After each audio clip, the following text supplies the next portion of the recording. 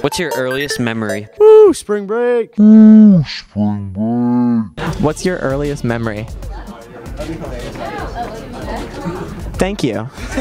Snow. I remember snow. I remember actually being young enough to uh, like almost stand in my father's footsteps in the snow. Waking up this morning. So, what's your earliest memory? Thank you. How about you guys?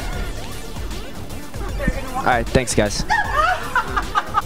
My earliest memory would have to be crawling on the floor. I had a cast on from my from here to my knees, and I had to crawl like a seal. So that's my earliest. memory. Um, Barney. What is your earliest memory? Thank you. Finding my best friend Dan. Finding my best friend. Dan. I know. Eating pizza last week. So, what's your earliest memory? Being born. Nice. Think the Patriots win the Super Bowl? Sure hope so.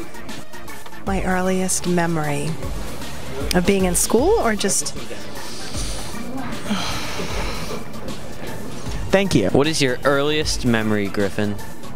I um I don't remember, but if I could, maybe my days in preschool or something before that. I don't have a good memory, so I don't know.